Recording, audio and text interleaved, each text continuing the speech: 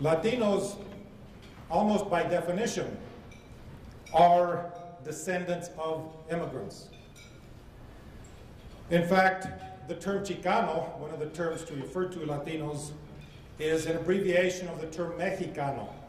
Chicano means U.S. born citizen of Mexican ancestry. In fact, that's true in my own case. You know, I, I only have a couple of minutes, I know, but just a, a few comments about this immigration and, immigration issue in Hawaii is, is so important to us here at Metro. Interestingly, and I wish I had more time to, to comment on this, but interestingly, you know, when you think about the psychology of immigration, especially for Mexicanos, one has to remember that this area was Mexico.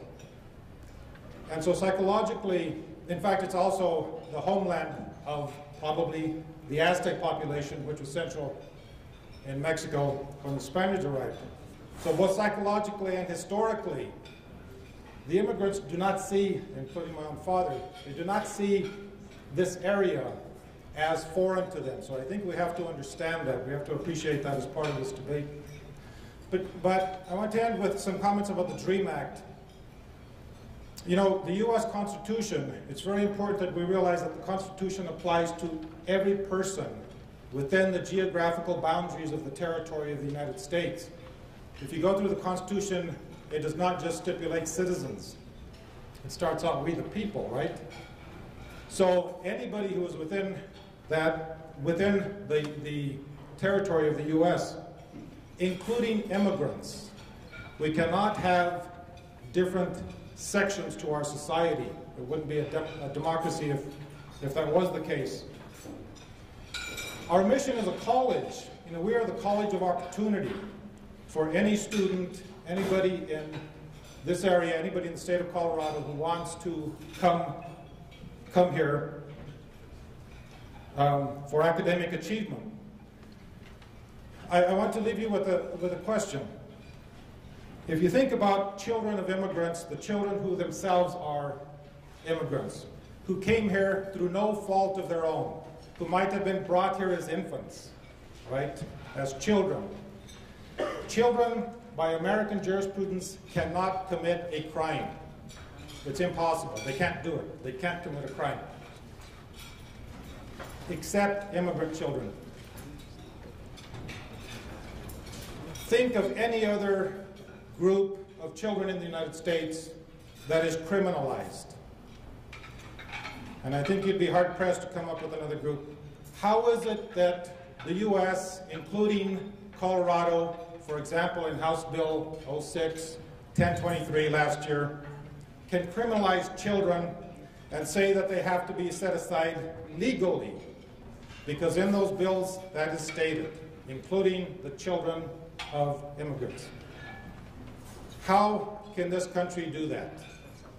So that, for example, when one of these immigrant children graduates from one of the local schools and applies to Metro, and they are ch charged out-of-state tuition, which really means it's prohibited for them. They can't come. It, it, it, it's just impossible. Why do we allow that? So I would urge the students here, I would urge you, for example, to go to the SGA, the Student Government Association, and ask them to consider, ask them to consider some kind of resolution in support of these children, in support of these students, so that Metro can truly become a college of, opportunity for all students. And I would urge the faculty here to go to the Faculty Senate and do the same thing. Suggest that they pass a resolution in support of allowing these students to pay in-state tuition so that we can reach out to these students. Remember again, if they were brought here as immigrants, why have we criminalized them? The administrators,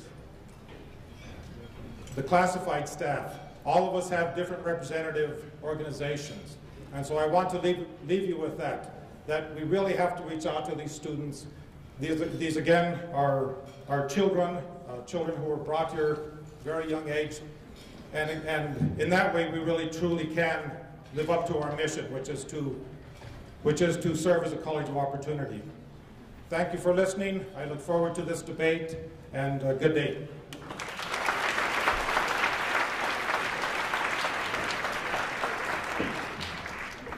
Thank you, Dr. Torres. It's my pleasure now to introduce the president of Metropolitan State College, Dr. Jordan assumed the presidency of Metro State in July of 2005. He brings a wealth of experience and accomplishment to this position.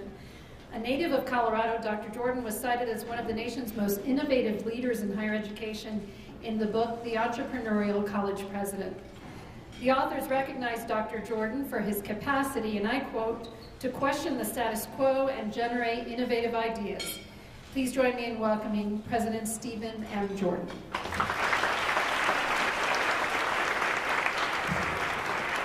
Thank you, good afternoon, and welcome to Immigration, Economic Boom or Bust, sponsored by Metropolitan State College of Denver. We're truly excited to be hosting this event today and honored by the presence of its two noted speakers, former Governor Richard Lamm and economist Benjamin Powell. Both Governor Lamm and Dr. Powell have been outspoken on this issue of immigration.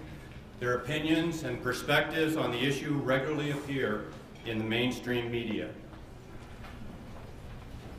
Their opinions also are rather divergent from each other, so I expect we're going to have a rather spirited debate this afternoon. And I would like to personally thank Governor Lamm and Dr. Powell, as well as our moderator, CBS News reporter Ana Alejo, for participating in today's event. As president of Metro State, it brings me particular pleasure to host events such as today's debate. I believe it is a critical part of education, and indeed of democracy, to hear many voices expressing different points of view with respect and civility. It is particularly important for college campuses to serve as a place for civil discourse on controversial issues of which immigration has certainly become, both nationally and in our state. The controversy over Iranian President uh, Mahmoud Ahmadinejad's speech at Columbia University earlier this week certainly illustrates this point perfectly. As Columbia President Lee Bollinger put it when he introduced Ahmadinejad on Monday, and I quote, it should never be thought that merely to listen to ideas we deplore in any way implies our endorsement of those ideas. It is a critical premise of freedom of speech that we do not honor the dishonorable when we open the public forum to their voices. To hold otherwise would make vigorous debate impossible. Well, of course, our debate today on the controversial issue of immigration is different than the controversy over whether to allow a dictator with views most of us consider abhorrent to speak on campus. But the underlying premise on the importance of hearing all sides of the issue is the same. Vigorous political debate through civil discourse is a critical pillar of democracy. Our country's founders framed the Constitution under the belief that the basis of influence within society should be free and open discourse about conflicting ideas and opinions rather than the social rank within which a person is born. Thomas Jefferson said, difference of opinion leads to inquiry, and inquiry to truth. We value too much the freedom of opinion sanctioned by our Constitution not to cherish its exercise even where in opposition to ourselves. Debating controversial issues such as immigration is a starting point of inquiry through which we can all come to our own individual decisions. This is an essential process on which our past was based and our future depends. Citizens gather to listen to each other, debate, make their own judgments, and determine a course of action. Thus, hosting this forum today is important not just for the intellectual development of our students and of our college community, but for all of us as a part of an educated citizenry. The role played by colleges and universities in educating citizens as leaders is crucial to our ability to support civil discourse and democracy. And of course, our discourse is in fact civil. We listen as well as speak, respecting different even conflicting points of view. We speak the truth as we see it, and we cite evidence. And we maintain a genuine openness to changing our mind, even when we disagree. We in the audience are also committed to this civility and respect of opinions with which we may not necessarily agree. As Barry Goldwater said, to disagree, one doesn't have to be disagreeable. Knowing at the outset that we are likely to disagree and assuming that we will all rise above being disagreeable, I'd like to briefly address why we are having this debate here now. The issue of immigration has a special significance in Colorado. Our state has historically been a recipient of immigration, especially from Mexico, dating back to the land grants issued by Spain and Mexico for territory in southern Colorado in the early 1800s. And the number of immigrants has continued to grow over the years.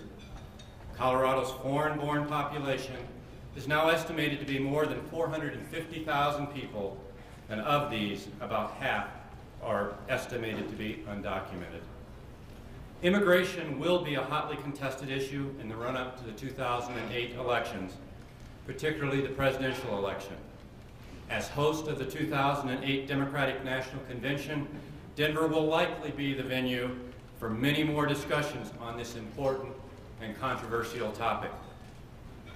It is my hope that all of the discussions will be as civil as I anticipate this one to be, and that our citizens will listen to and engage in these debates as they inform themselves on the issue to engage meaningfully in our democracy. Thank you once again to Governor Lamm and to Dr. Powell for opening what we hope to be a series of debates on this important, complex, and divisive issue. We do indeed look forward to hearing what you have to say. Thank you.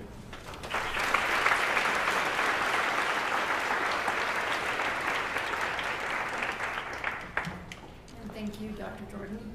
It's my privilege, privilege now to introduce the first of our two speakers. And I wanted to remind the audience one more time that the you can line up over there at the microphone once the two presentations have been made and to ask your questions. Dr. Benjamin Powell is a professor of economics at Suffolk University in Boston and a research fellow at the Independent Institute in Oakland, California, where he also directed a center on entrepreneurial innovation. He's a widely published author of books and magazine articles, both popular and scholarly, and he's appeared on MSNBC and CNN, where he has debated economic issues. Dr. Powell's research has been the source of considerable media coverage, including in the Wall Street Journal and more than 100 regional newspapers. A group of his peers, known as the Austrian economists, described Dr. Powell as having developed an international reputation as one of the most one of the most dynamic young free market economists. It's my pleasure to welcome Dr. Benjamin Powell.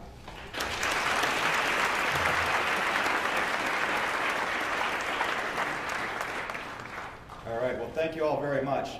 And uh, I'd like to uh, echo President Jordan's comments about how important it is to be able to have civil, open, and informed discourse in an academic setting about such a controversial issue that involves both the general public, students, scholars, politicians, policymakers.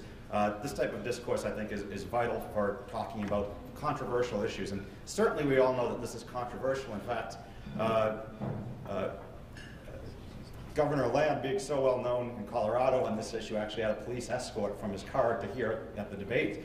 Uh, because of it. I, being less well known in Colorado, had a five foot four French assistant professor of economics walk me over. Uh, but uh, thank you, Alex. what I'd like to start with is uh, actually what I consider some of the less controversial aspects of immigration and, and illegal immigration. Because uh, I do think that there are problems associated with illegal immigration and legal immigration for that matter, but most involve the intersection of public policy uh, and immigration, not the actual narrow economics of immigration per se. Uh, so the first is, overall, we find a net benefit to the U.S. economy from immigration. Uh, estimates vary. A conservative estimate by George Borjas, actually probably the most prominent economic critic of immigration, uh, he even puts the estimate, his latest one is at at least $20 billion per year for the U.S. economy. Now, admittedly, that's modest as a proportion of the U.S. economy being a $13 trillion economy, but still significant, and also disproportionate in some industries versus others. Uh, but also there's good reasons why the gain is not bigger. One clearly is our quantitative limitations on the length, on the amount of immigrants who can come in. If more could come in, we could have bigger gains. Another is policies that distort which immigrants come in. So caps like H-1B visas that stop more skilled workers from coming in clearly hold us back. Other things that bias immigration towards family members versus other productive workers possibly hold us back. Uh, so the gains could be a lot bigger if immigration were more open. Uh, probably the biggest misconception, so I think actually among economists we talk about these things, economists do disagree about how to reform immigration clearly, but it's usually not over the general economic impacts of immigration. There's fairly wide consensus on that. But there seems to be a disjoint between what economists talk about and what the general public and politicians and policymakers say when they're debating this. And probably the biggest one is jobs. There seems to be a fear that if immigrants come here on net, they're going to take jobs away from the native-born population of the United States. And it's simply not true, and there's very little evidence for it. Uh, think about this. We don't have a fixed pie of a number of jobs in, in America. When we have more workers, we put more people to work doing more things. We have virtually limitless demands for goods and services. We get more workers, we make more things for ourselves. If it were actually true that we had a fixed number of jobs, we should already see massive unemployment in the US. Think just post-World War II. Massive entry of women into the workforce, baby boomers into the workforce, and post-1965 immigration flows. Where's the long-term unemployment? It's not there. The same is true when immigrants come in today. It may be true that they displace a particular American worker in a particular job at a point in time, but we reemploy them doing something else. This is what's happened when the women entered the workforce, when baby boomers en entered, and when previous immigrants entered. There's no fixed number of jobs here. Uh, so fears on this are completely unfounded. Those who would have you believe that the number of jobs that the jobs on net are at risk have to deal with this empirical regularity that we had massive entry into the workforce and no evidence of long-term structural unemployment increasing. Uh, and there's some good reasons for this too, actually. We tend to think of just workers who are displaced here, but often, if it weren't for the immigrant coming in, the job would no longer exist here. Uh, for instance, and this actually happens both on the top end of the skill spectrum and on the bottom end. Uh, in the garment industry, an industry that's been in decline in the United States, where largely we're starting to over, uh, outsource it overseas more and more. About a third of all garment workers in the U.S. are immigrants here. If that workforce weren't coming here, surely more garment jobs would have already been outsourced overseas. So just because the immigrant comes here doesn't mean they displace an American worker. It may be a job that would have disappeared if they hadn't come here. Similarly, on the high end of the spectrum, and this deals with the high skill end, I should say, this deals particularly with H-1B visas that limit skilled workers. Actually, this year it was a kind of particularly cruel April Fool's joke. There were 85,000 of these things up for grabs for fiscal year that starts this November. And by the end of April 2nd, all 85,000 of these were already gone. Uh, Bill Gates, for one, has said, hey, I would outsource fewer jobs if I could bring more skilled workers here. Because I have a hard time bringing in highly skilled computer workers, I actually send more of my jobs overseas. This is yet another way that immigrants don't displace U.S. workers. Now, some critics say, well, it, well, actually, defenders of immigration often say, it's immigrants who come here and they do jobs that Americans won't do. And I think critics of immigration correctly respond, well, it's not that Americans won't do them, it's Americans won't do them for the wages that are offered. So surely if you bid up the wages for agricultural work to $100 an hour, there's probably a lot of you who would leave this room right now to go back there and take a job. The question is, would the job exist if the wage had to get bid up to $100 an hour? And there's good evidence that they would not. In fact, we have examples of this. Uh, one example in last fall's lettuce crop in Arizona, actually two-thirds of it didn't get harvested. They had problems bringing in laborers, migrants to do the work. The farmers certainly could have bid up wages, but they chose not to. They left two-thirds of their crop in the ground to rot and took losses of a billion dollars. Now, the reason is, if they had bid the wages even higher to get the workers to harvest that other two-thirds of the crop, the revenue they would have got from selling the crop was even lower than the wages. So the jobs simply don't exist. That's another reason why they don't necessarily displace U.S. workers here, because the wage job simply wouldn't exist at a higher wage. Now this raises another problem that often the public talks about. What about wages? When immigrants come here, does it depress the wages of American workers? Now, the joke kind of about economists, or there's plenty of these, but uh, one of them goes, an economist, as he goes through his career, learns more and more about less and less, until he knows absolutely everything about absolutely nothing. Uh, and to help remedy this, I mean, some of the journals get more and more hyper-specialized, so people who are experts in one field of economics weren't talking to people who are in another field. They created this Journal of Economic Perspectives, and what it's supposed to do is summarize general research findings in the different fields, and then communicate it to the other economists. Here was their conclusion when they examined immigration and the economic research on it. Quote, despite the popular belief that immigrants have a large adverse impact on the wages and employment opportunities of the native-born population, the literature on this question does not provide much support for the conclusion. We don't find evidence of the jobs disappearing, and we don't find that much evidence of the wages going down. Now, that article's a little bit outdated. There have been some studies done since, but still, the economists, when they find an effect on wages, it's very small and in only one area. Basically, when they examine directly high school dropouts who directly compete with immigrant labor that's unskilled that comes into this country. And there, the estimates vary. Uh, Borjas, who's the critic, he has the highest estimate of this. He estimates that there's a negative 8% impact on the wages of high school dropouts when they compete, compete with immigrants who come to America. Other people actually still find zero effect or even slightly positive, but the range is basically slightly positive to negative 8% for high school dropouts only. In the other areas, we simply don't find it. Uh, now, this could be true, and actually to the extent it is, almost any economic policy that brings net benefits to the country, somebody doesn't benefit from, at least in the short term while they're adjusting. And that's what we're finding here, but I think it's important to think about this. This is high school dropouts in the U.S. we're talking about, an increasingly small proportion of all U.S. people. And I think the answer is not, therefore, we must keep even poorer immigrants out, but we need to do a better job of educating these people who didn't get a good education in the United States. Uh, so a question comes up, how is this possible? In fact, for those of you who have taken an economics course from my friends here at Metro State in the, in the economics department, uh, you've probably learned that the economists, at least in the principles course, seem to worship at supply and demand. And how is it possible that the supply of labor increases, immigrants come here, yet it doesn't push down our wages? In fact, I was accused of violating the laws of supply and demand when I wrote a popular column on immigration. And actually, I'm sure if there's one point of agreement for us today, it will be that whenever you write something on immigration, you get more hate mail than almost any other issue that you write on. Uh, it's at least certainly true for me. Uh, and this particular one generated a slew, and one was just an ad hominem attack, and I usually just delete these things, but I had had a few cocktails that night when I got home. So I decided I would respond, and uh, we had an exchange that actually got more civil as it went on, and he was essentially accusing me of ignoring the laws of supply and demand. If you have a greater number of workers to go around, it's got to push down the wages of those workers. And I was pointing out the parts of economic theory that say what the exceptions are to this, mainly not all else is constant. And uh, he decided he wanted to run a column. He runs a website, I guess, that's dedicated to immigration issues. And he said, would you mind if I put our entire exchange on there? And uh, I had to kind of proof myself and make sure I didn't say anything too outlandish, but uh, I agreed to. And uh, to my knowledge, actually, it's the only time I've ever appeared on a neo-Nazi website.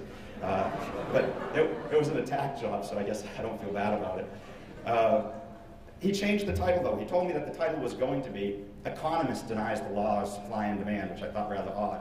Uh, but actually, after he read the stuff that I sent him, he decided to change the title. It was Economics Profession Denies the Laws of Supply and Demand. Uh, so what are we getting at here? How? Well, first of all, there's a question, is there such thing as, quote, the supply of labor? Or different units of labor have different characteristics that make them better at one thing versus another? It's certainly clear that labor is not homogeneous. There's differences between workers. So instead of just substituting for American labor, they can complement American labor, basically by bringing skills that Americans don't have so much. In fact, if you want to think about it, think of the spectrum of skilled workers in the US economy. There's a very small percentage that are up at the top of the skill pyramid.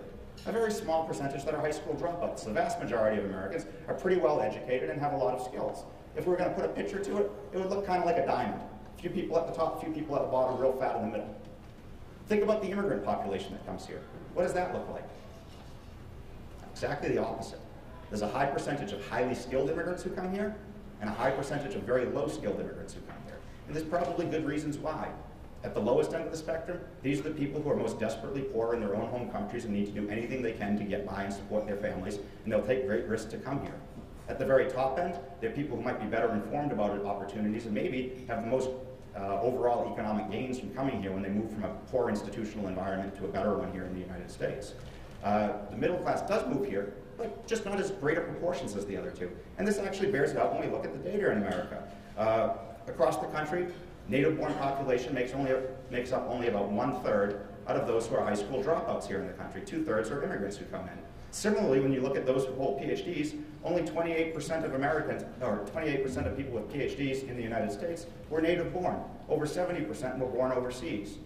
What's this telling us is the immigrants who are coming here tend not to be substitutes for American labor. They tend to be what we call complements. They possess skills that we don't, which frees us up to do other things that we're better skilled at.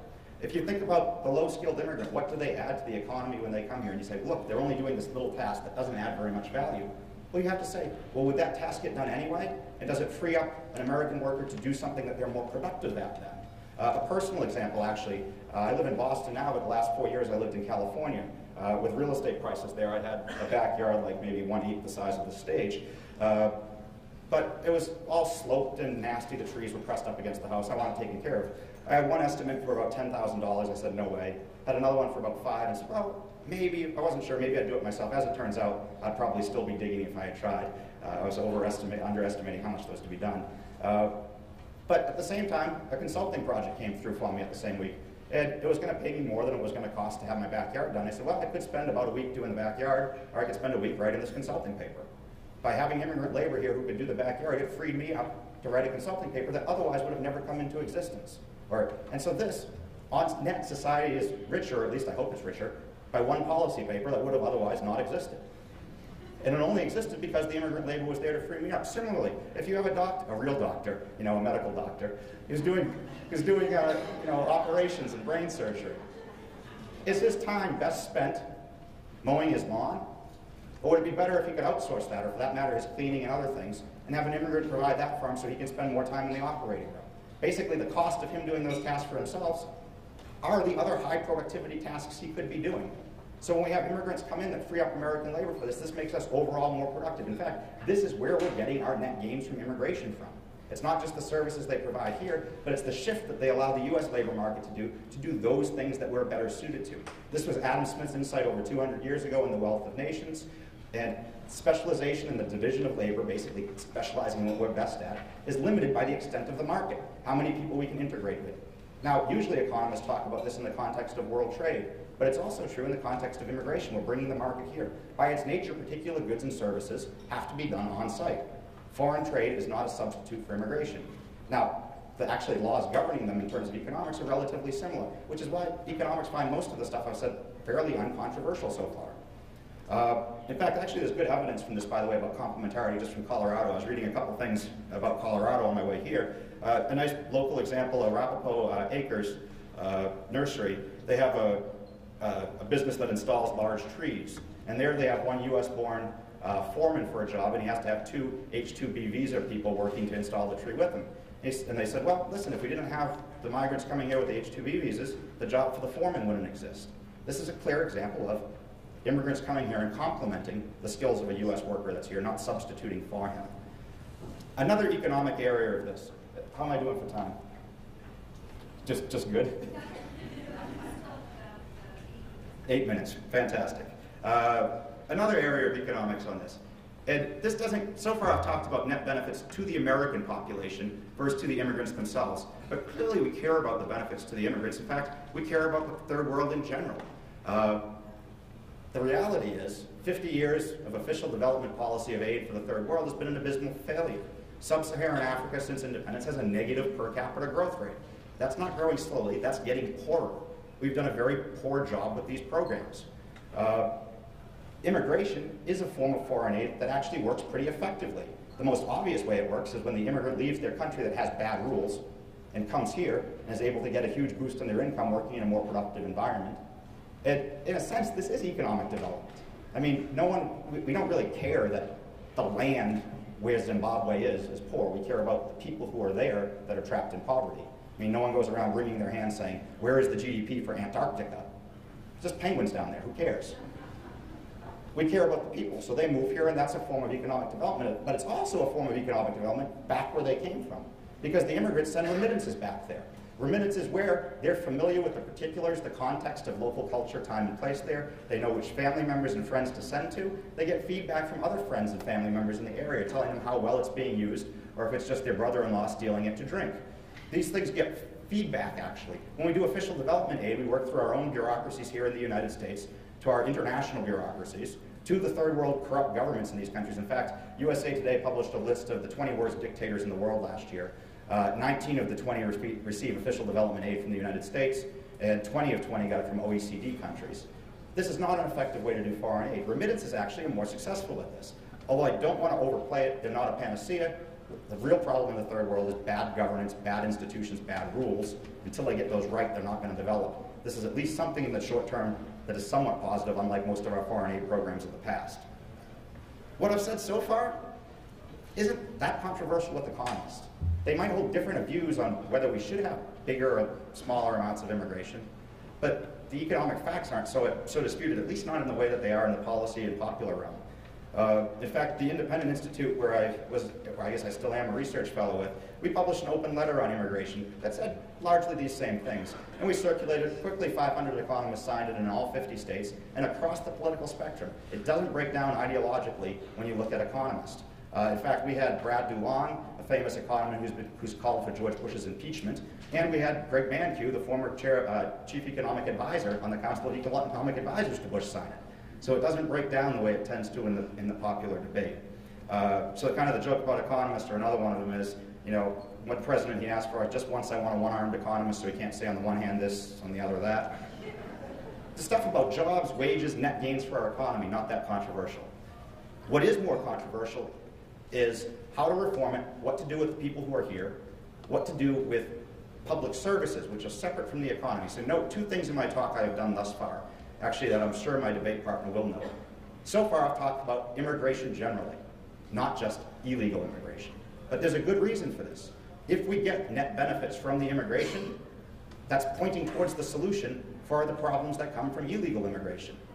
Make them legal. Not just the ones who are here, but the ones who want to come here. Open up greater legal avenues for them to come in so that we can get these net benefits. The other thing that I haven't talked about so far, which I don't consider an economic problem, are fiscal effects. So it's clearly true that there are particular jurisdictions, especially at the local level, where when immigrants, legal or illegal, come into the area, they spill over cost on others. By spill over cost on others, I mean to consume social services that cost other taxpayers money. Often, the tax revenue that immigrants, legal or illegal, generate tends to go towards the federal government, while a lot of the revenue that they receive or the services they receive are financed locally. That can make a fiscal drain on a local community. A solution to this wouldn't be to just cut off immigration, be reform our tax and spending policies. Either where the services are delivered from or where they're financed from, or also seriously considering what is it that causes these spillover costs. Basically, when people have to interact on a voluntary basis, I have to come here, I have to bid to get you to rent me the property, you have to bid to get me to work for you. That's when we get overall net gains for each other. When all of a sudden I can come in and without your permission I'm entitled to some of your tax dollars, that's a spillover cost. And that doesn't lead to efficient decision making necessarily. Now that's true whether you're foreign born or native born. So this points to some weaknesses in some of our, uh, just four minutes, uh, in some of the ways that we deliver social services here. So it actually leads to inefficient migration, not just between Mexico and the US, but between Colorado and California, Colorado and Kansas, wherever else. Uh, so we might want to consider how we address these problems. I think this is where actually good debate should be. And hopefully we'll get to more of this in the Q&A, is talking about how do we reform public policies so that we don't have these negative consequences. But also note, because we find an overall get, net gain of at least 20 billion to the economy from the immigrants who come here, that's net to the existing Americans that are born here. That tells you to the extent that you find costs in public policy, the overall wealth creation that happens because they come here can cover it. It's just we're not matching the benefits that they provide to the services that they consume efficiently. That's the game that we have to play. Uh, not just putting a blanket restriction on immigration. Basically, the amount they enlarge our pie more than covers their services. So we need to address what services they can get and for how much and where. Uh, just touching on another problem then. Uh, crime and terrorism certainly come up. Uh, I think concerns about immigrants coming here to do terrorism are valid. We should be concerned about this.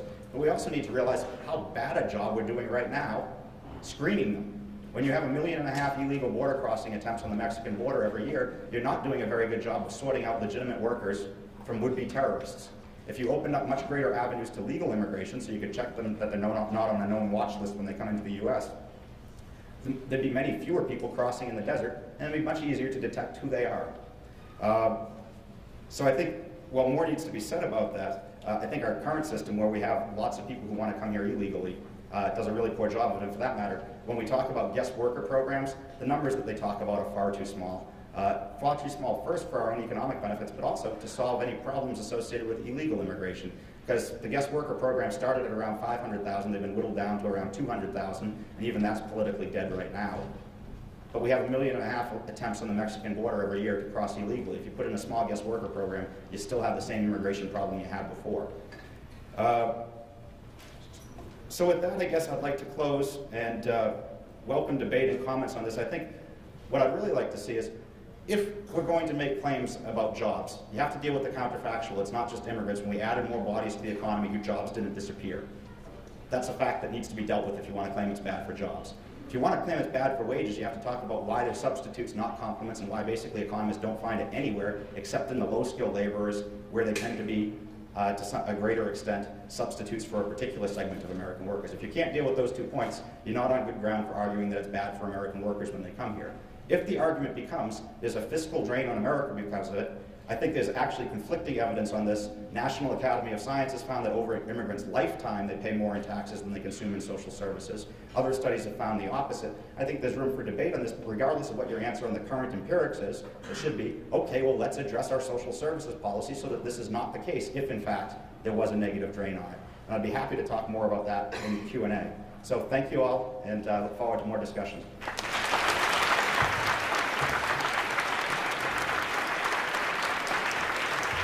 Thank you, Dr. Powell.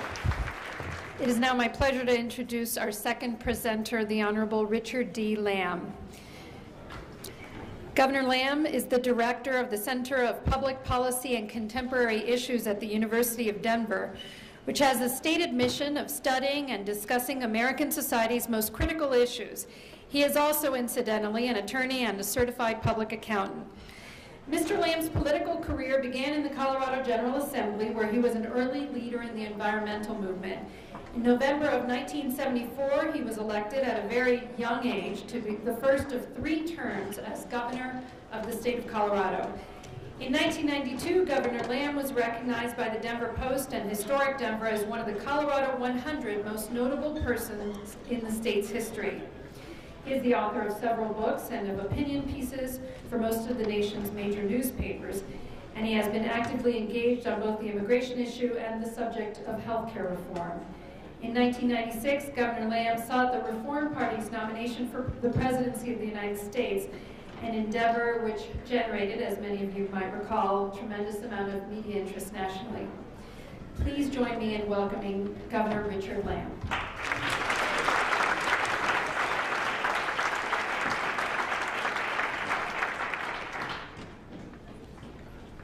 Thank you. Dr. Powell, it's an honor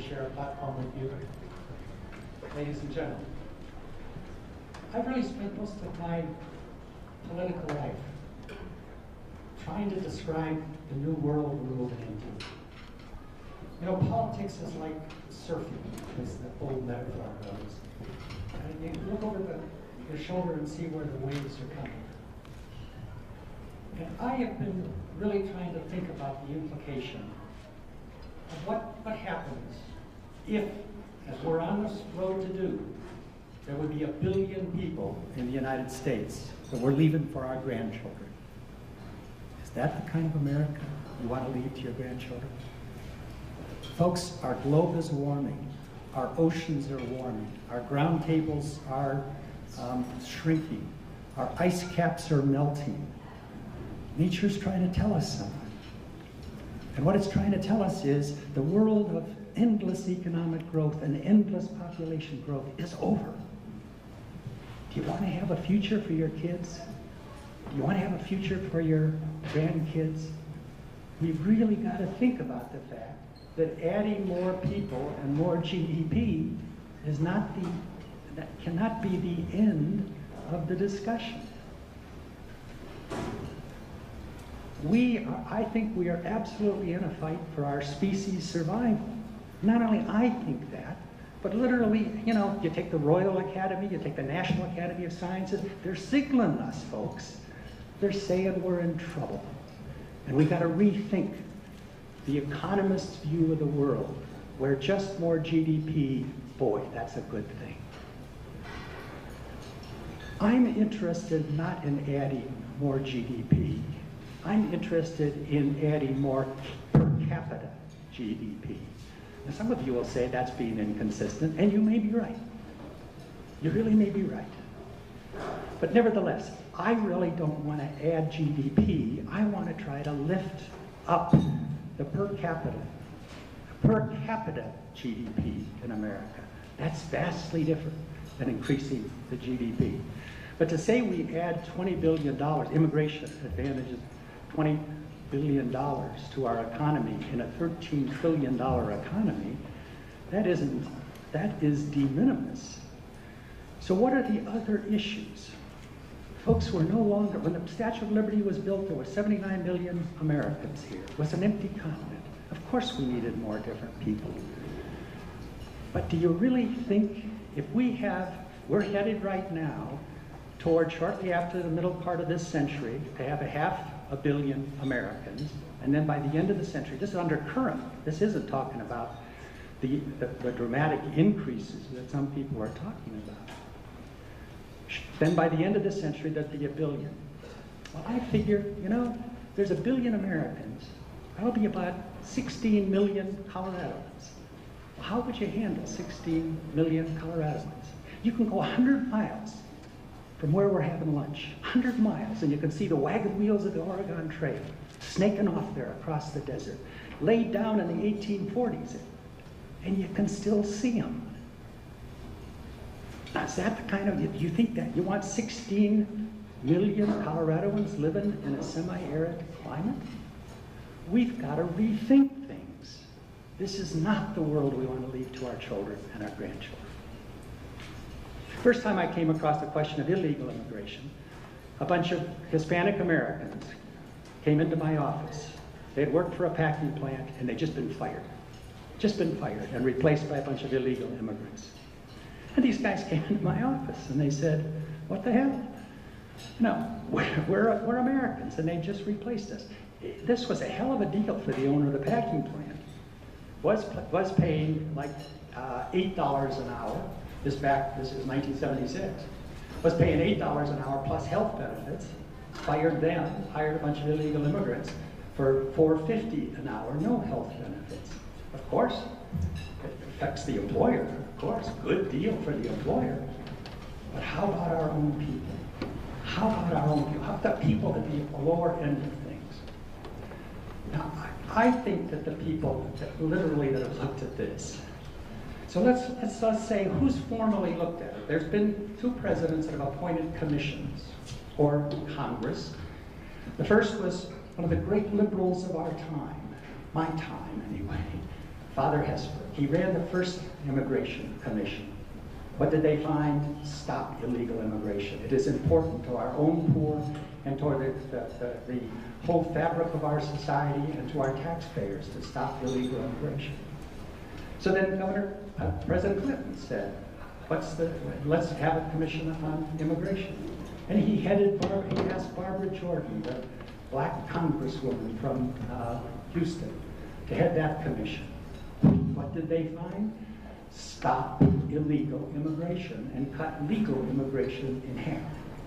That's essentially what they found. And, and they, they, they looked at this problem and they said, look, illegal immigration is, uh, is a danger to the fabric of America because we've got to raise our own pool.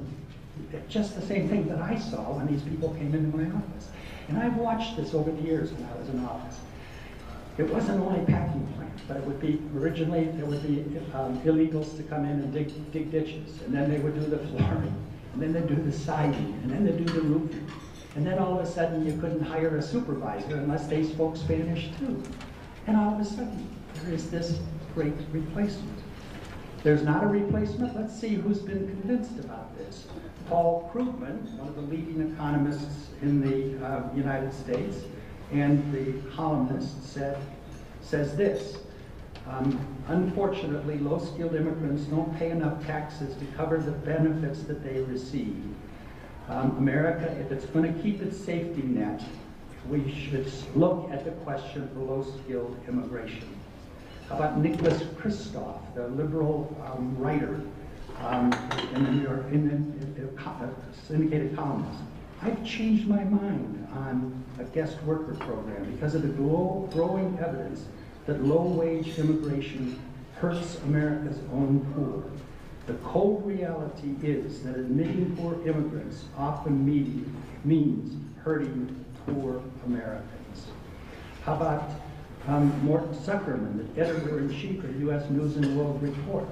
So why haven't overall poverty rates declined further? In a word, immigration. End quote. My second argument is what it does to our taxpayers. Um, the, the key to illegal immigration is what used to be single people coming up from south of our border, working and going home. Now whole families are arriving. And so that when you, when you look at the various studies on what does an illegal immigrant make, um, the averages, in, there's two different studies. One came out at $15,000 a year, the other at $22,000 a year. I think the Pew Hispanic Center says it's $22,000 a year. You know, you, when you have a family that earns $22,000, you know, you don't, you don't pay your own way. Um, you're subsidized by the taxpayers. I don't mind doing that, but I can't do it for the world. You know, there's 5 billion people out there that live at a level, of living below that of Mexico's standard of living. There's, a, there's 3 billion that live on uh, 2 or $3 a day. And so the question that we're having is, you know, if, if you really want liberal programs, liberal programs demand borders. I can't get. I can't give everybody. I've been fighting all my life for universal health care. You think I can universal health care and give it to everybody in the world? You've got to have borders. You want to keep Social Security, you want to keep a safety net, you've got to have borders. And borders means you have to, you have to, in fact, control people that, that come here. I can show you houses. No, I can't show you anymore, but I could at one time. Um, that were, there would be two families living together. Um, at the time, there were probably um, maybe $10,000 a year each family living in the same in the same house had 11 kids in our school system. Well, today's terms, it costs us about $7,800 to educate a school child. We, we, you know, this isn't cheap labor. This is subsidized labor. You're asking your other taxpayers, many of them close to the line themselves, to in fact subsidize this institution of illegal immigration. Why? Why? So some employer can get cheap labor and prevent our own people from coming up? My argument is that a tight labor market is the best friend that a poor can have. You want to get our employers to go into the ghettos and barrios of America and train our own people and get them jobs, have a tight labor market. Let me end with my last point, and that's a matter of national security. You know, it used to be that if you wanted to do harm to America, you had to have an army that could beat our army and a navy to get you here.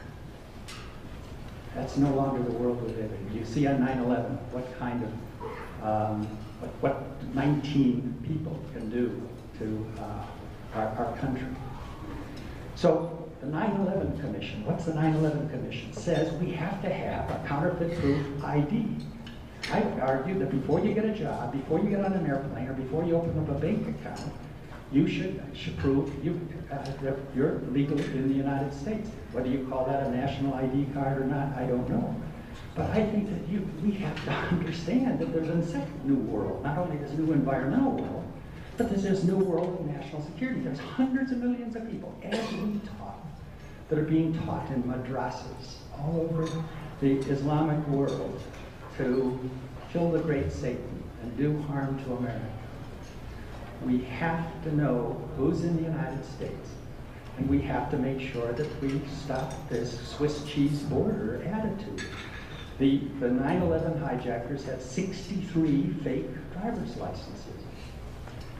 So for reasons of national security, for reasons of the taxpayer, but most of all, for reasons of our own poor, we have to stop illegal immigration.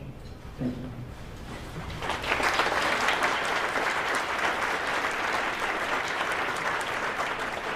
Thank you. Is this on? Hello? Okay. Thank you, Governor Lamm. We're now ready to move into the debate portion of today's event. And I'll be asking a question or two to kick it off, and then we'll be opening it up to the audience. Our presenters are asked to limit their responses to no more than four minutes. Once again, I've asked you to line up over there in the center aisle and uh, ask questions. One of the central points of disagreement on this issue is the impact of ending illegal immigration and the impact that it would have on our economy, either positive or negative. Assuming it would be possible to stop the flow of illegal immigration, could you discuss what the impact would be on the economy as a whole and specifically the cost to American consumers of commodities and services? And, uh, pardon me? You can go first. Am I still, am I still on? There we go. Um, so, obviously, the gains that we get from immigration right now would be the first things to go, or at least partially if we close the borders more. Uh, it also depends what we talk about doing with the existing illegal immigrants that are in the United States now. Often people talk about moving them out. So assuming that's possible and putting up a stronger border, uh, one, we're going to have a severe short-term shock to our economy because they're not just evenly distributed. It's not just 20 billion in a uh, 13 trillion dollar economy. They're clustered in particular industries. So it's estimated right now that about 24% of all farm jobs, 17% of all cleaning jobs, 27% of all butchery jobs, a large number of construction jobs. Immigrants tend to cluster in these industries. If we clamp down on illegal immigration and move the ones out who are here in those industries now, that's where you're going to see the biggest effects, both in terms of uh, losses for U.S. businesses that currently employ them and work in them, and also that's where you're also going to see the increase in prices for American consumers and, and quite frankly the lack of ability or lack of supply of some goods that Americans demand. Uh, on another note, since I only used two minutes to answer that, I'd just like to say about this per capita GDP thing, I agree completely what we care about is that, not just a bigger pie, we care about a bigger slice of the pie for everybody here. Uh, but in fact, that's what I was talking about when I was talking about the 20 billion, that's two existing Americans, so divide by 300 million people, and there you got your per capita gain from immigration. Uh, but this notion that there's these other things that we're running out of, and if they come to America, we're going to run out. This is nothing new. Economists have heard this objection for centuries, with Thomas Malthus being the first and foremost among them, but we hear it again and again. That the evidence, whenever we look to see what is it that we're running out of that they said we were going to, they're wrong. And what are they missing? The greatest resource, or what Julian Simon called the ultimate resource, human ingenuity. Why is it that we have the standard of living and the goods and services that we do? It's because of the creative ways humans have cooperated, innovated, created new technologies and capital to give us these things, and they end up economizing on those resources that become more scarce.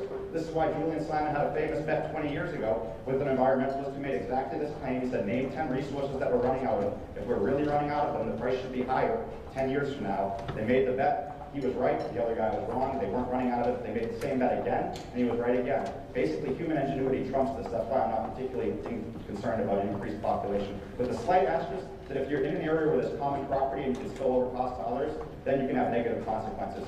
So think of some common grazing lands in Africa or something like that, where actually increased population growth rates ends up depleting resources because you don't bear the cost of your actions uh, you can spill over the grazing onto other people. That's a concern. So to the extent that we have those type of problems, which are much less severe here in America than other parts of the world, uh, that's what we should be worrying about. And in fact, to the extent we have, since we have less of them here in America, we'd be better off from a global environmental standpoint if more of the poor in the world had actually moved to America instead of staying where they are, where they can spill over more of the cost on others. And I, Um, I do think that there has to be going to be some adjustment in our economy and in our structure of business. I think that um, a lot of that would be positive, as I mentioned before, and I don't want to repeat. But you, you ask, for instance, I mean, it's often said you want to pay $5 a head for uh, a head of lettuce. Um, so I looked up the, late, the latest study that I could find anyway. But the average family paid $5,200 in food in the year 2000. Uh, $322 of that was spent on fresh fruits and vegetables. Um, so, uh, you know, most of the cost of almost anything we buy in a grocery store is not the people who pick it. You can double their wages, and you, but you're not going to find much increase in the price of uh, any of this stuff. It's the middlemen that's all, all that is the problem. So I would really argue that it is not a problem in terms of the foodstuffs. Um, but to the extent that it is, and I do believe that there is a need for certain um, labor to to pick Colorado's peaches and to harvest them, that we should do it on a guest worker program. Because I think that there are really lots of people that would like to come to the United States. They don't want to necessarily move here, but they would like to come as guest workers, earn money that they can send home. So I would think that the that, that, that that's not the end of the argument. My main argument really is that um, there's a, that, that we have to rethink this very idea of immigration. There's five billion people out there. How many of them do you want? There's six billion people out there, but how many of them do you want and do you think can live satisfied lives in our country? Okay, some have proposed creating a new migrant worker visa for undocumented immigrants. This would be subject, although obviously they would not be undocumented if they earn this visa, they would be subject to U.S. labor laws and pay federal, state, and local taxes in one form or another. Instead of paying, paying Social Security and Medicaid, the new visa would pay the same amount into an immigrant health fund.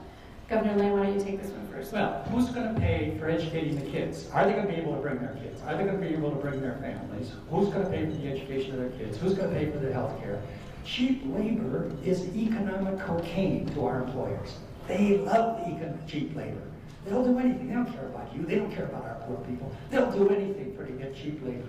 And so I'm very suspicious about this kind of thing. But yes, I do believe some of it is necessary, but I think there ought to be controlled guest workers coming in and then leaving. Well, uh, I guess we agree that I'm a little bit skeptical of it too, but probably for different reasons. I find the government's pretty bad at managing most pro programs in our economy, and I think this wouldn't be an exception. Uh, I'd much rather just let the workers come here and work and actually address the ways that we currently do what you call subsidized labor now. And I, I guess I'd agree in a sense that it is subsidized labor that they can consume social services such as healthcare and education and other things for their families when they come here. Part of that, though, in bringing their family with them, is related to the fact that it's hard to go back and forth across the border now. I think with a more open immigration policy, you'd have much more like what happened in the past, where a lot of the men came here and worked in the fields, and then would migrate back home and come seasonally back and forth on their own. In fact, when you look at 19th century immigration to the United States, almost a third of the people who came here ended up going back to their home country afterwards. But when we have a closed border policy, or the type of border policy that we have now, it makes it much harder to go back and forth. So they come here and they stay and they try to bring in their families, which actually makes this kind of subsidized problem worse. But what's your, how many people do you think we ought to let in here? Should there be borders? Unlike you, I don't know the answer to this question. No more than I know the answer to the number of people who should move like I did from California to Boston. How do we find out within our country? We have competitive labor markets where employers bid for you to come there or to stay where you are, and you have to pay the cost of your housing, food, room and board, etc. And you weigh the offers, then you decide where you should be. Now, it is true that in the United States we have subsidized labor here too, because we consume these very social services that immigrants are accused of using. So we don't have a perfect flow of immigrants between California, Boston, Colorado, Nebraska, or anywhere else. But we're a lot closer to it than we are with our national policy. In fact, we don't know the correct quantity of labor to move between any two jurisdictions. It's labor as a market. We don't know how to centrally plan that any better than the Soviets knew how to centrally plan shoe production. Folks, that is the, that is the race to the bottom of the ultimate thing. That let the labor market decide. Again, that so, in other words, Bangladesh and the poor people in wherever it is in the world, we're going to set our labor market and they're allowed them to come here and compete for our jobs. There's hardly a job in this room that is safe if you're going to go in that thing. You can, you can find uh, Indians that speak English just as well as we do and can teach our courses and can run, run our television sets and everything else. Don't go down this road. Oh, you're selling out the poor people in America. Okay, then confront the evidence I cited earlier. When we have more people here, jobs don't on net disappear. We create more jobs, and we don't find evidence of the wages going down. I, I think you do find a wage. You cited them yourself. The, why is it that the top one tenth of one percent get so much money, and the lower twenty percent have, have lost uh, status in the United States, and the poorest people, one about without uh, high school education, have lost eight point two percent. That's your figure, not mine. I think that you're, I think that the I state pat that the best way to help our own poor is not to have them compete with people who want to come in here from Bangladesh, but to control our borders. So do I correctly interpret you as now saying that the only people who lose wage-wise from immigrants coming to America are high school dropouts, and the biggest effect is about 8%? That's the one that I'm most worried about. Okay, unless, is there someone who's ready from the audience to ask a question? If not, I have another one. Okay, I think folks are ready to go. Hey, Dr. Powell, Kurt Vonnegut says we're moving to a two-tier society, the gods and the clods. You bet that's the one I'm most worried about. I think that we've got, we are facing a divisiveness in this society um, because of the lower, because we're not doing better by the lower people in this, the lower stratus in this society. And those are the ones that I think we have to help. Actually, this is taking a very static view of it, though. You mentioned poverty hasn't declined more because of immigration. Clearly, people who migrate here are poorer than most Americans. That means they bump up the poverty statistics. But that's a snapshot in time. Look what happens over time. We actually have tremendous income mobility from the bottom quintile to the top quintile over a 20-year period. Okay, clearly there's a lot of interest out there, so we'll take our first question from the audience. Yeah, my question is for uh, Governor Lamm. Uh, I'm just uh, wondering, when are you going to finally stop using disparaging and insulting words to describe people who come here seeking jobs, people who have been invited here for, for many, many years, and who don't deserve the kind of label that you put on them. As I recall, uh, when I first moved to Colorado, I voted for you three times. Shortly thereafter, because uh, of my advancing age, you, your suggestion was that uh, people like me kill ourselves because there are too many seniors. You, uh, you got the label Governor Gloom, and uh, maybe that's a little harsh, but it appears to me that a few years ago you wanted seniors to off themselves, now you want immigrants to starve themselves. Is there no end to your joviality? I, I just, and seriously, I, I would suggest to everyone, stop using these disparaging words. These are undocumented people. If there is any illegality, then the U.S. government certainly is an accomplice. Because we have invited these people for over half a century, starting with the Bracero program. And, the I, I have a, a question about, which, which involves economics. Um, and, and by the way, for those who wonder, I am a student here. Uh, I'm called a, an outlier, okay? Because I don't uh, fit in with the, with the uh, Sir, just ask your question. Okay, my question is, economically, the white population, the dominant population that is so fearful of losing control, uh, which this is all, uh, this whole subject is about anyway. If the white population is declining, then we are not going to be able to sustain our economy, who's going to pay my Social Security? Aren't we better off? Are we not better off inviting people, good people to come here, train them, educate them, give them skills, allow them to become uh, Okay, I got your question. allow them to become part of our economy that will then aid our entire country as so many immigrant waves have done in the past. Thank you very much. Thank you.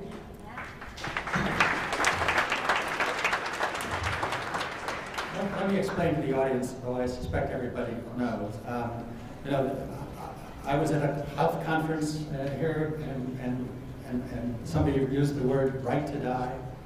And I said in response, we don't have a right to die. Um, We have a duty to die. As Shakespeare said, we all owe God a debt. But the point I was making is that we are all mortal. The mortality rate is 100%. So the Denver Post ran a, a, a, a column the next day, front page. Governor Lamm says the elderly and the terminally ill have a duty to die. Luckily, we had a recording of it. Luckily, that all the way from the New York Times to everybody else corrected it, but it's always a good cheap shot to use against me. I would say the same thing, to bringing in people from a less than, if we're going to take immigrants, I believe we ought to take them for the skills that they bring to us. And that's why I support the Barbara Jordan viewpoint. We should in fact go to the skills, they, they can be from Mexico, they can be from wherever, but we should try to bring the skills in that, um, that, that make us richer and can afford to do this. But that bringing in somebody with less than a high school, uh, an average illegal immigrant has 7.6 years of education. They're number one, a drain on our taxes, and number two, they're not really going to contribute to your Social Security.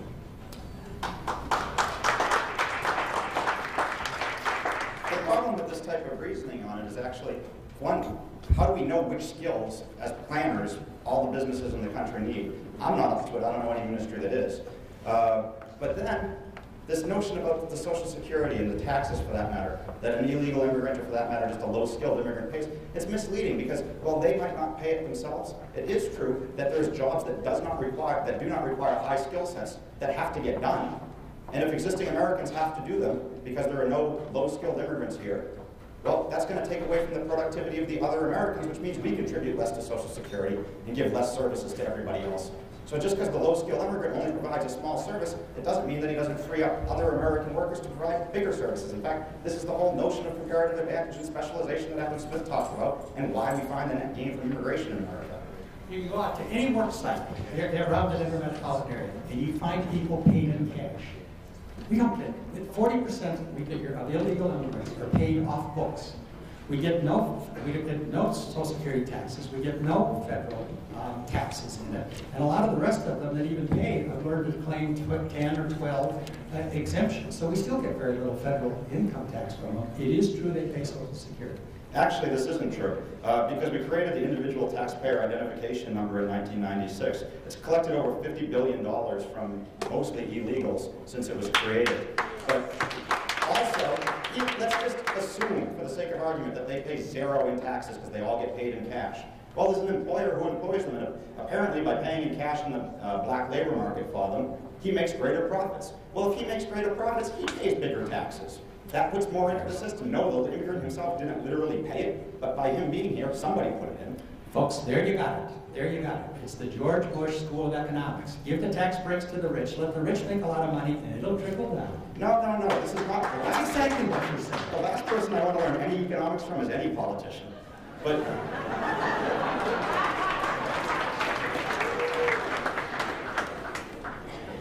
Okay, I want to remind all the folks out in the audience, since there are so many people who want to ask questions, to please, your time at the mic, please use it to ask a quick question. Go ahead.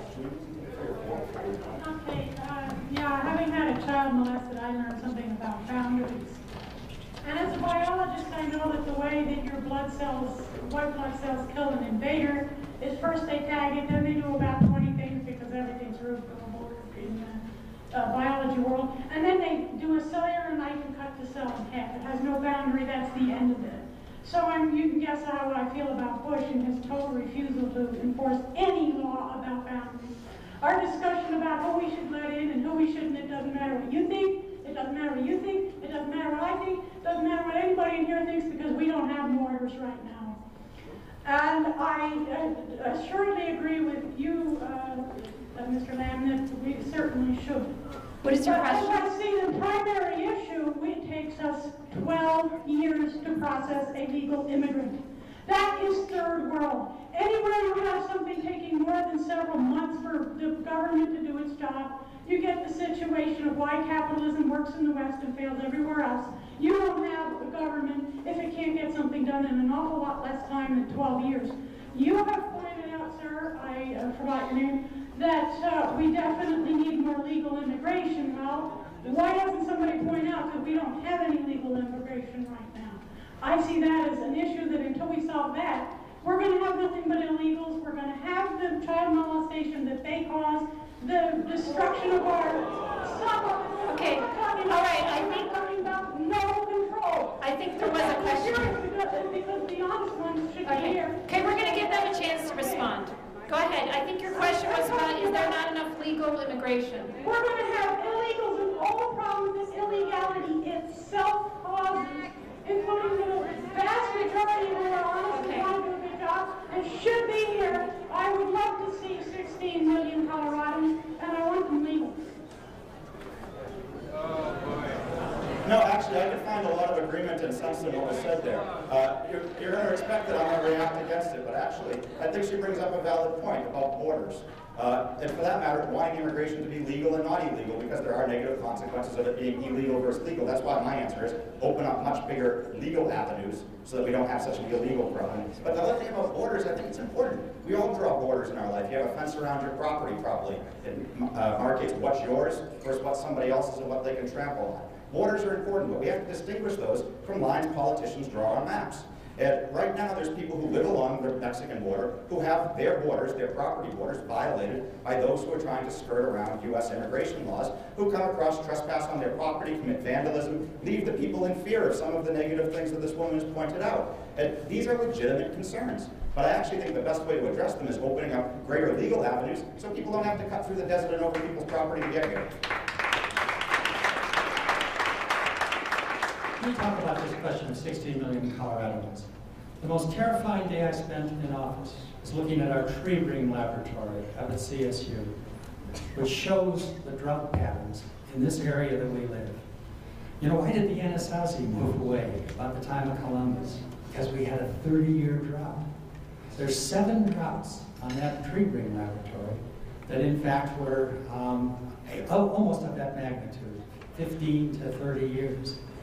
You know, we've been living in a relatively um, uh, wet cycle, but you do not want 60 million Coloradans. We don't have enough water. We don't want. You really want a strip city from you know from, Fort Collins to Pueblo? We're probably going to get that anyway. But I'm arguing that we are trustees of Colorado and its fragility, and that you do not want to have 60 million. Okay, we also have people wanting to ask questions on the top level, so we'll take that one next. And I want to let the technical person in the audience know that if a person does go on too long, uh, in a, making a statement, not asking a question, you can go ahead and shut the mic off. Okay, go ahead. my question was, uh, would you literally say that we're bad because we come over here to try to make money? Would you say that's a bad thing? For those who live in poverty to come over here and make money for their family, little children trying to get food in their stomach, would you blame them for trying to come over here and make money? Would you? I don't call anybody bad. I am saying it is a bad institution to allow illegal immigration. And I can't use your standard. I, I appreciate the, the heartfelt that you do, and I understand the emotion that comes behind this. But, you know, I, I, you, you look around the world, and there's billions of people. There are three billion people that live like on $2 a day. And so they're hungry too. They've got children too. They would like to come here and, and, and, and, and be here too. But I'm saying that the best thing that the United States can do in a global warming world is to run a sustainable society, to, to, to stabilize our population, to start thinking about GDP, to start thinking about um, how we raise up our poor. That's my vision of where America should go, and it's not calling anybody bad. If, if the concern is truly a global warming or a global environmental problem, I don't see how shifting them on the globe from one country to the United States makes that problem worse. And in fact, actually, since we do a better job of managing our resources here than in lots of the spillover places in the third world where they have poor property rights system, it seems like it would improve it. What you're doing is, in fact, you're assuming that, that, all of those people could come to America and become consuming Americans, and they do. I appreciate that. If I lived in another place, I would probably try to sneak into the United States too. But your environmental impact and footprint of an average American, you know very well, is substantially more than other places where we're taking our immigrants. We can't, I don't believe, um, I really don't believe that immigration is a solution to the world's poor. I was named Humanist of the Year uh, 10 years ago because of the work I did in Cambodian uh, refugee relief. I care about it. I'm an internationalist. But if you, but I think when you look at the kind of world poverty, how many, how many, uh, how, how, many immigrants are we going to have to take to deal with this kind of, these kind of questions, world poverty? We could double immigration and double it again and double it again. There's 76 million new people every year, every year, every year coming in, mostly to the third world. Immigration is not the way to solve world poverty. Uh, actually, I agree with you that it won't solve the world's environmental problems to the extent they exist, and it won't solve world poverty. I'm just saying it's not going to make it any worse. In fact, it'll be on the margin slightly better. Okay, next question. Hi, my name is Jessica And I'm a member of Rights for All People, and we are an immigrants' rights group based here in Denver. Um, at Rights for All People, we believe that the immigration debate is actually an extension of the debate over minority rights, the rights of the poor, and the rights of women in this country, as well as other marginalized groups that struggle for equal recognition as citizens in this nation. From that perspective, especially Governor Lamm, if you could, in terms of national security, explain to me how our domestic policies and practices to deter terrorism is not in fact an attack on our minority and immigrant, and immigrant populations, given the fact that each of the 9-11 hijackers entered this country legally on legal visas, and that, the, and that subsequent anti-terrorist policies such as Operation Tarmac have resulted in the, the deportation of both legal and illegal immigrants that are minorities and not terrorists.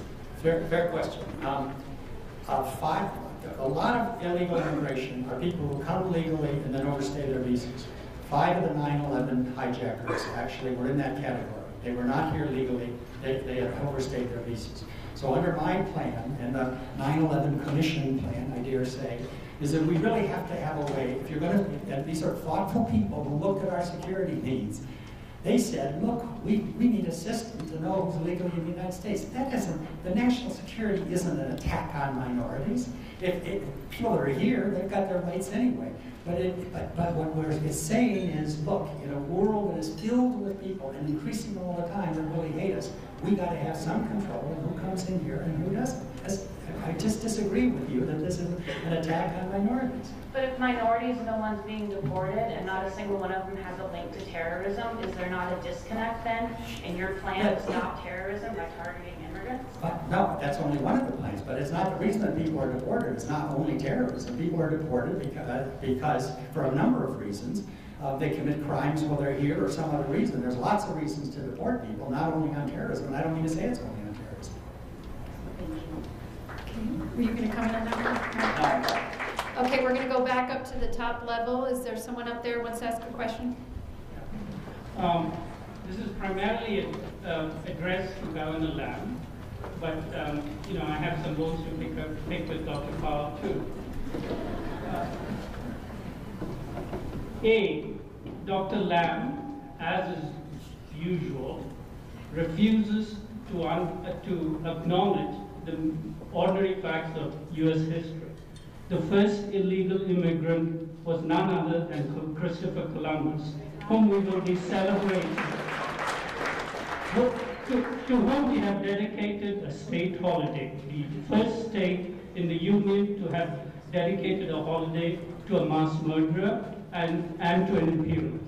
Number two, the political economy of the, I mean, Mr. Lamm touched upon the implications for, uh, for the world in terms of American consumption.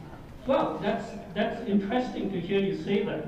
What are we going to do about it, right? It, I mean, we have destroyed broad sectors of the Mexican economy with a nice free market mechanism called the North American Free Trade Economy uh, Agreement.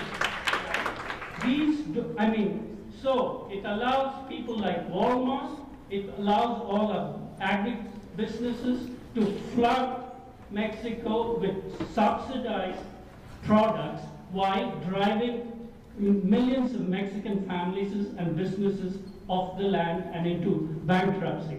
You, do you have an uh, immigration problem? I think you would. Number two, when you talk about... Remember a question. Yes. Number, number three, if you have to talk about, if you have to talk about security issues, maybe we should think about of the almost million people that were killed in U.S. wars to promote democracy in Central America in the 1980s, and that continue today in the Middle East. There is a massive refugee crisis in Iraq. Perhaps it's time we look at ourselves. Thank you. Is there a response? There's too many things on the table here in that question. I mean, many of them are good, and, invite me back. I'll be happy to uh, because there's a great questions. I don't support the war in Iraq and didn't from the very beginning. I think that there's many things that you said which were true. Let me talk about NAFTA, though. Uh, you know, NAFTA, which I didn't have a, I didn't have anything to do with NAFTA, but remember, the Mexican government wanted NAFTA desperately. And so the fact that NAFTA didn't work out the way that America thought it would or Mexico thought it would, but this wasn't imposed on Mexico, this was welcomed and sought by them. Yeah, I just dispute the notion. I mean, there's a lot of problems with NAFTA, I think, mostly because it's actually not a completely a free trade agreement. It's got a whole bunch of other stuff thrown in there, just like CAFTA that we passed last year. Uh, But the notion of cheaper products going to Mexico, when people are poor and they get cheaper products, that means their real income goes up. So actually, it seems pretty good. Uh, and because there's no limit on the number of things that people want, it doesn't have to on net destroy jobs either.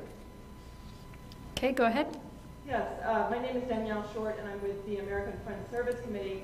We have a project called Coloradans for Immigrant Rights, where we have people who are coming together to really talk about these issues. Mostly citizens who are saying, our communities would actually be better if we found a way to um, address the immigrant rights issue and to provide human rights to all immigrants.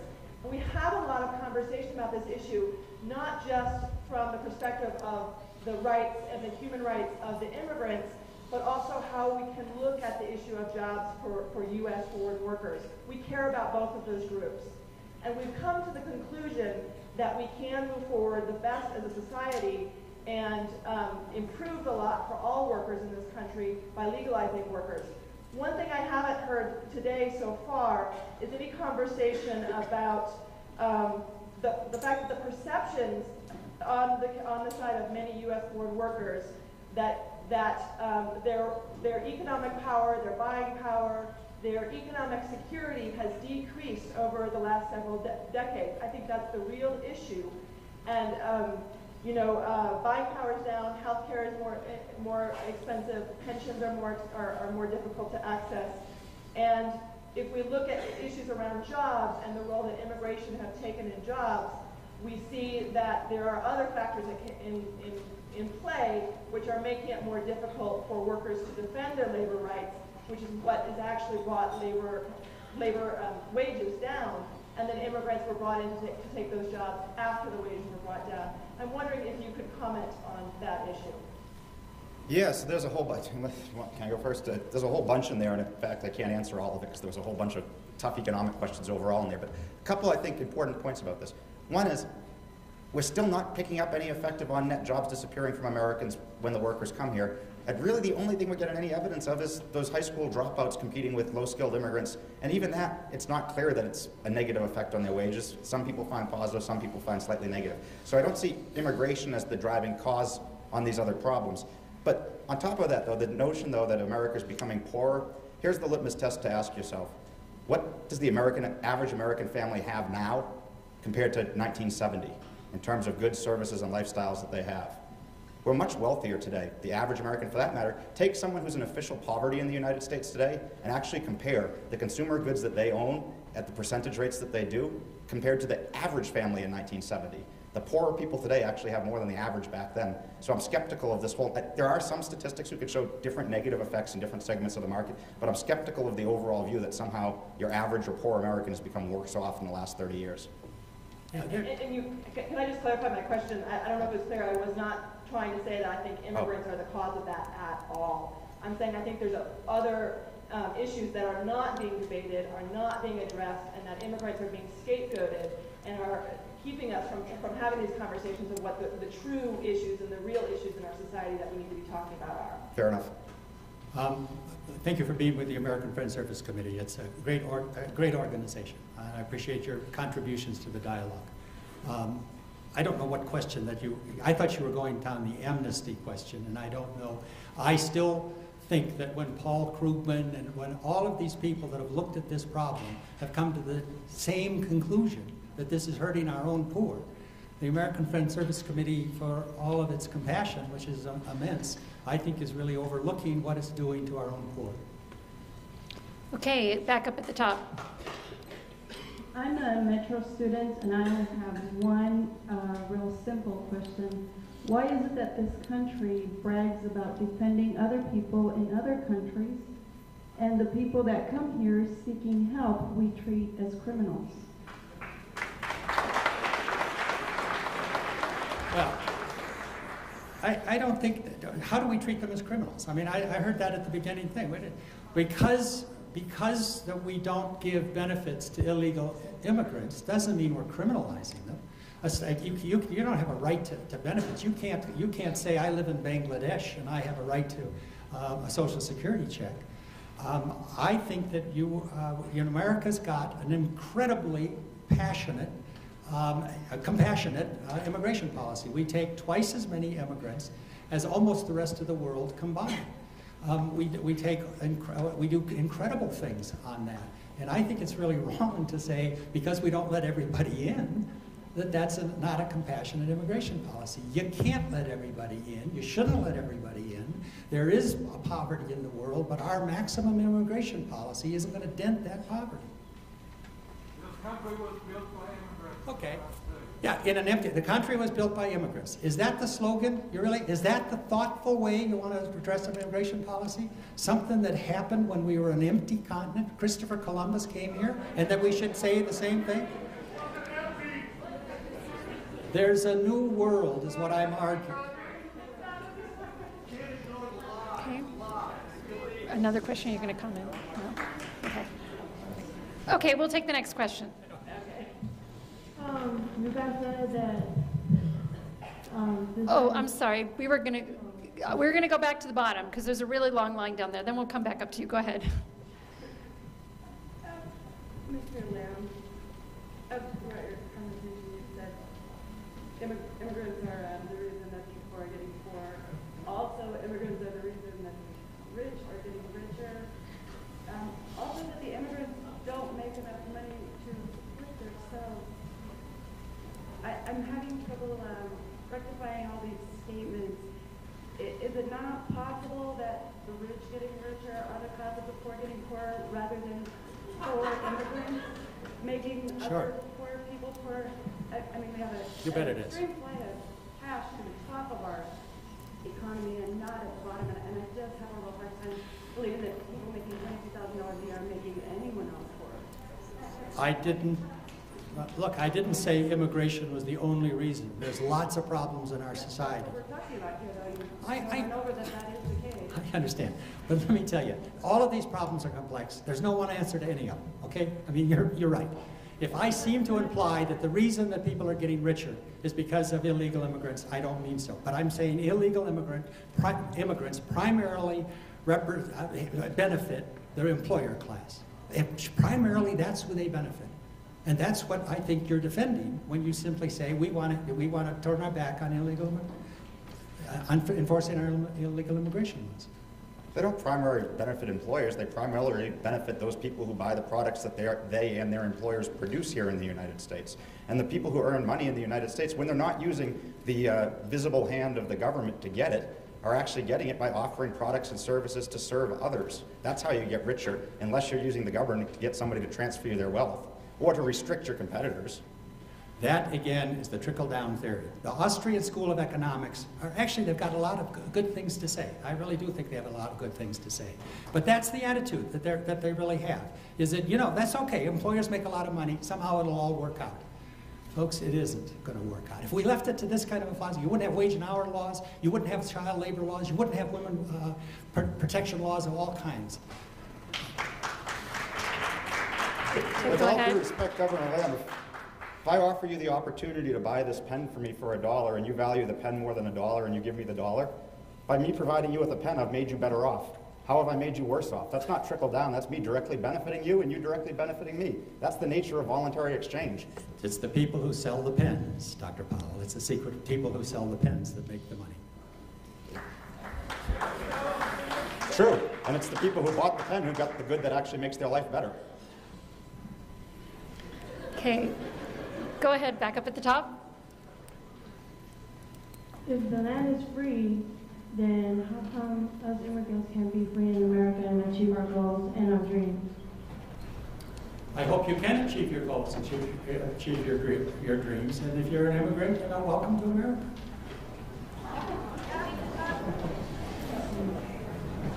Please understand, we're talking about illegal immigration here, not, not, not immigration.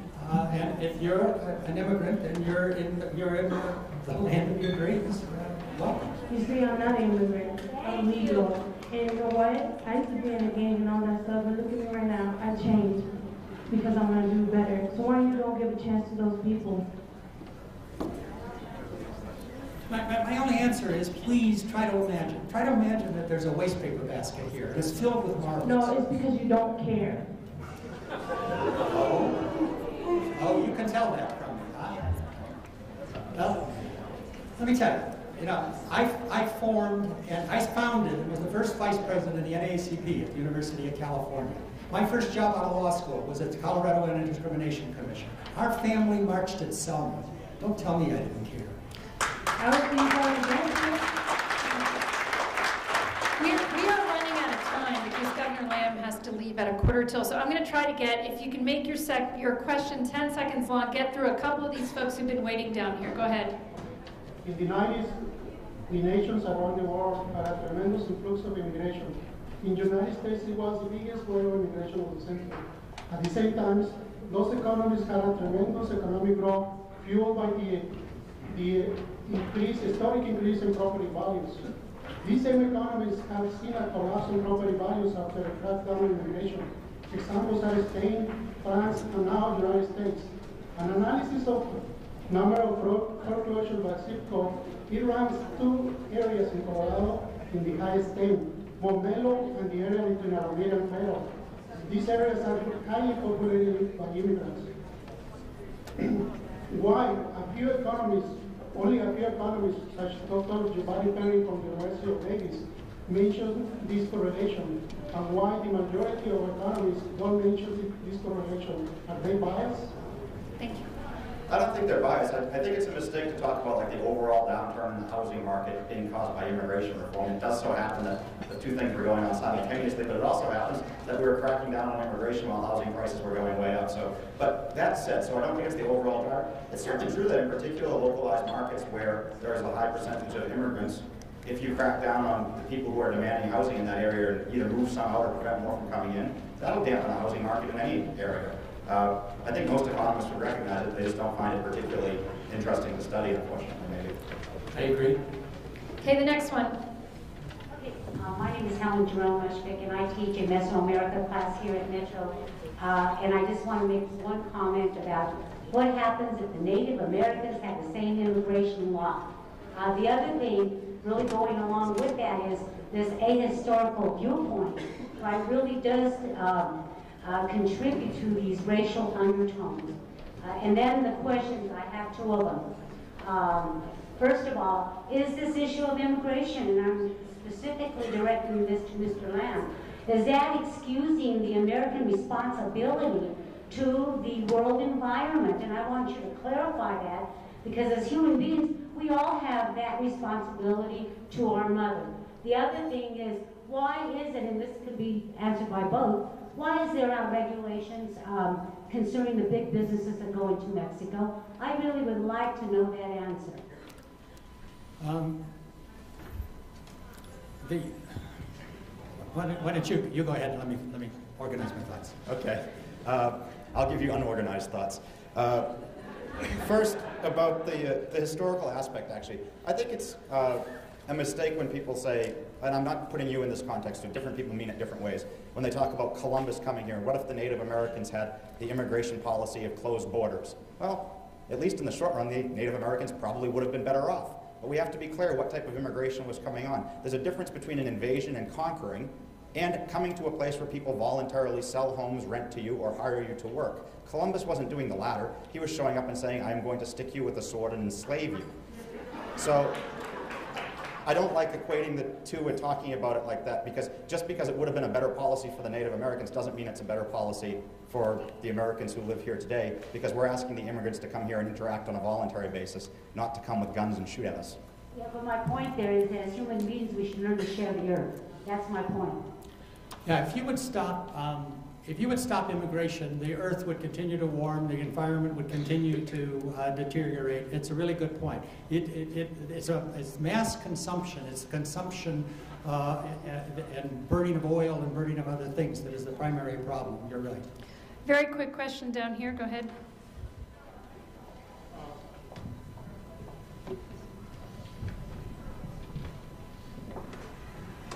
My name is Gila. I'm working at Metro State College as an instructor. I'm teaching political systems and ideas. First, I want to tell you, both of you, you are here to unite us, to unite the citizens of U.S. You are speaking in the interest of the citizen of US. As I observed different countries, I came from Ethiopia through Moscow. During the fall of communism, I was there. There were different debates about immigrants, refugees. Still there are debates. But what I want to tell you is, when we are speaking about national interest, we have to take care and we have to think what happened on the question of nationality, especially in Germany, where millions of Jews were, were deported and cancelled and, and, and killed because of the national question. So here when we are discussing why, why I'm thinking of you, one of you is speaking about economy, the economical effect which is related with immigrants, and one of you are speaking about illegality or non-legals or illegal immigrants in US and so on. My question is, let me start from, from economy. As I worked with the refugees for more than three years, almost refugees and illegal immigrants who are crossing the border are paying.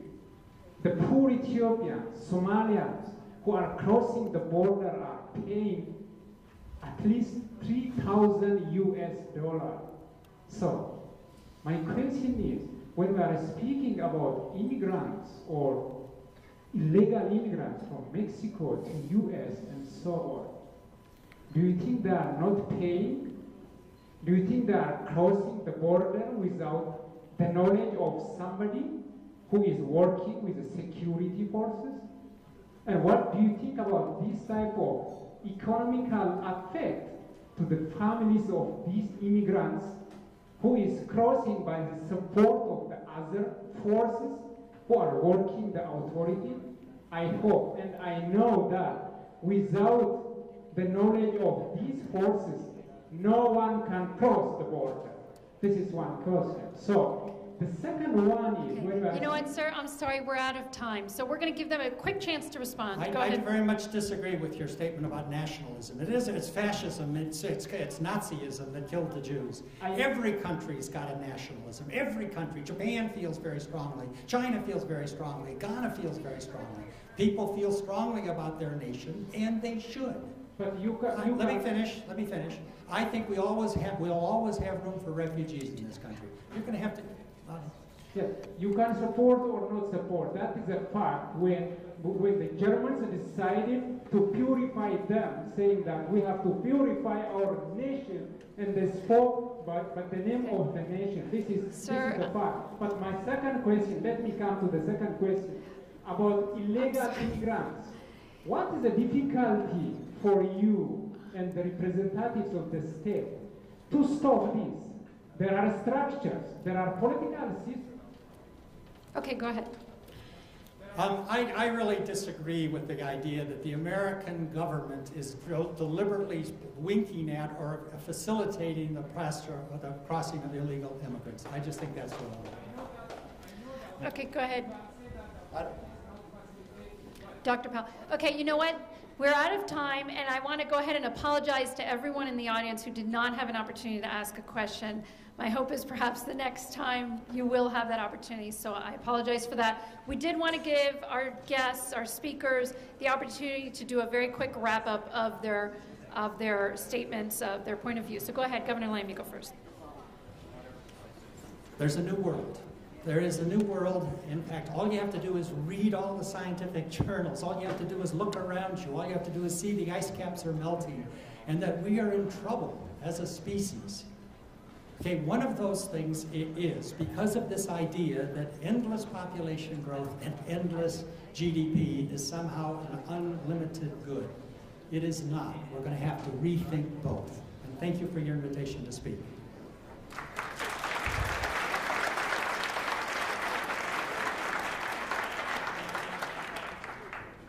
Doomsday prophets always say these things, and they have for hundreds of years. They haven't been right in the past. That doesn't mean that they're not right this time, but I sure know where the presumption of belief is. Makes me pretty skeptical of it. Until then, in fact, we're not talking about just population growth in the U.S., we're talking about shifting of some of the world's population here versus there. I think it's unambiguously good for the immigrants who come here and for the existing native born population of America, and therefore we should support it. Thank you very much. And thank you all for being here and also for those watching online. Stay tuned for details about the next debate in this series entitled Pluralist Perspectives on the Immigration Controversy. That is scheduled for Wednesday, October 17th. Thank you all again.